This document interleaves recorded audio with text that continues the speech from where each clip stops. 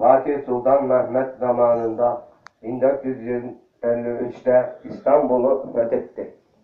Ve o ne büyük komutan ve dünyaya Osmanlı destanını yazdı. Ve Viyana'ya kadar Allah'a şükür Osmanlı düşmanı Viyana'ya kadar kovaladı. En büyük lider Fatih Sultan Mehmet yaşasın Yaşasın Türkiye, yaşasın Eyüp Allah.